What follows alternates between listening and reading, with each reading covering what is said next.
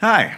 Welcome to OBS Update Day. Well, at least it's Update Day as I'm filming this. You're getting this a couple days later. But OBS 30 just came out. If you haven't updated it yet, uh, let me tell you some of the fun stuff. This is uh, this is one of my favorite kinds of OBS updates. It's not a world-breaking update. I'm just gonna share with you four things, but they're all quality of life upgrades that I think I will notice every single day. And for me, that's a big win. So let's make this a quick one. Have you be on your way changing the way you use OBS? Does that sound like a plan?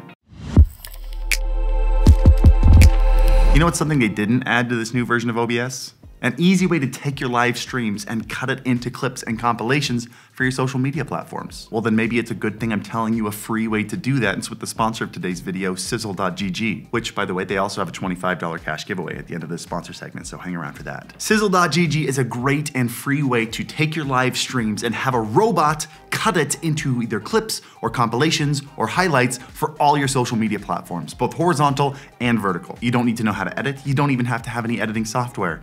It just does it for you. All you have to do is go to sizzle.gg, sign up for a free account, link it with your Twitch or YouTube channel, wherever you stream, and then Sizzle just watches your live streams, finds the best moments, and cuts it into clips and compilations for you. It's pretty wild. In fact, the system is so sophisticated that you can even filter it by kills, headshots, knockdowns, sniper kills, and victories. When you select one of your previous live streams for them to edit for you, you just let them know what game you were playing and it does the rest. And with one click, you can share it to any social media platform. Enjoy that free edited content helping you reach a larger audience and grow your social media following. I say this every time because I love these guys, but this really is one of those work smarter, not harder kind of tools that I, I can't I can't think of a reason for you not to be using it. And as for the $25 giveaway, Sizzle is going to pick two of you that sign up for a free account and PayPal you $25 cash. It's free money, so go to the link in the description down below, sign up for sizzle.gg, start getting some free clips and highlights and compilations and maybe $25 for whatever you might need $25 for. Let's talk about OBS. Four things that I felt were important to talk about with the new OBS, four things that will change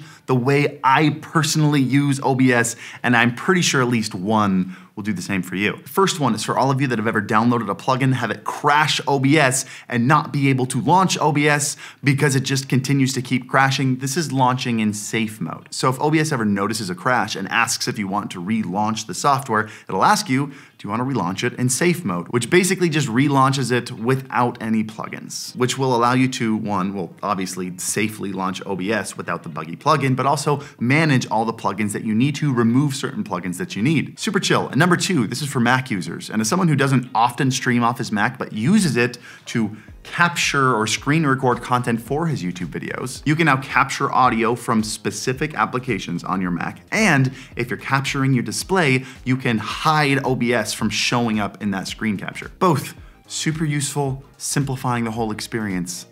I'm a fan. But it's number three and four that had me spending about an hour at my, well, you can kind of see it. This, this mod, there you go. There's OBS right there. These two cleaned up my entire OBS monitor. I'm super pumped about it. First thing is you can have full height docks, which means if you want chat, which is probably what most of you are gonna use it for, chat going from the top all the way down to the bottom of your OBS window, you can do that. You can even do multiple docks full height. Just so much more flexibility. I used to have the main OBS window and then a separate window for chat, which by the way, have any of you ever opened up OBS chat and the top part is above the top of your monitor so you can't move it?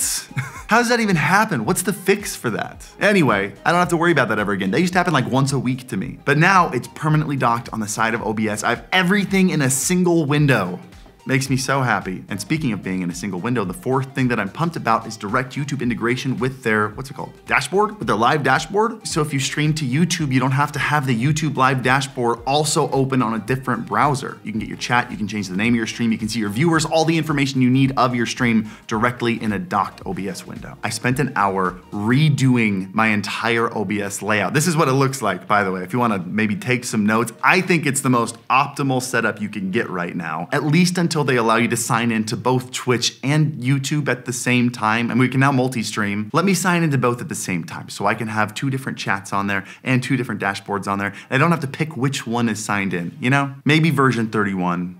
I'd love to see that. But anyway, do you have any questions about that? Do you have any questions or critiques on my OBS dock at the moment? If you have none, just leave whatever your top emoji is on your keyboard down in the comments because, you know, engagement Helps out a bunch. And like the video while you're down there. And subscribe while you're down there. All the things. I just want to see the little buttons light up when I said those words because that's kind of cool. Anyway, hope this helps. And as always, happy streaming.